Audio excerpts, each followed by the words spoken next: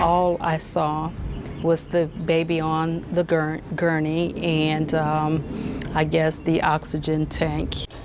A five-year-old girl in LaPlace shot and killed today. St. John deputies think it was an accident, but yet this is another case of a gun going off in the hands of a child. WDSU reporter Jennifer Crockett is in the studio tonight with more.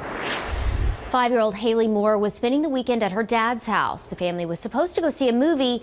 Instead, deputies said she found her father's gun. A sunny Saturday morning in the small town of LaPlace shattered with just one shot. The father said he was taking a shower, and uh, when he heard the, a gunshot, he got out the shower, and that's when he discovered that his daughter had accidentally shot herself. The bullet entered five-year-old Haley Moore's right chest and came out under her left arm.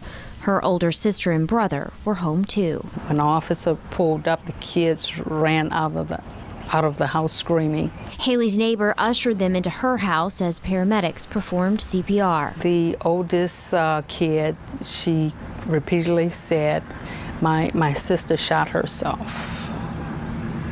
My sister shot herself. I don't know if she's going to be okay.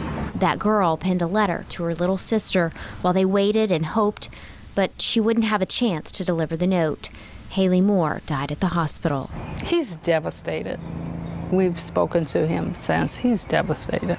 The investigation continues, but her father told deputies he left the 45 caliber gun out on the table. The kids are aware of the guns, but when they they're in his possession, the kids, um, he would always make sure that the uh, firearms were put away. But today, his gun was in Haley's hands, the skin by her fingers bruised from the slide when deputies think she pulled the trigger. Kids, you know, fascinated with guns, you know, um, and they just they don't know what they're doing. Lieutenant Baker says every parent should act right now to make sure what happened to Haley doesn't happen in their home. Safety.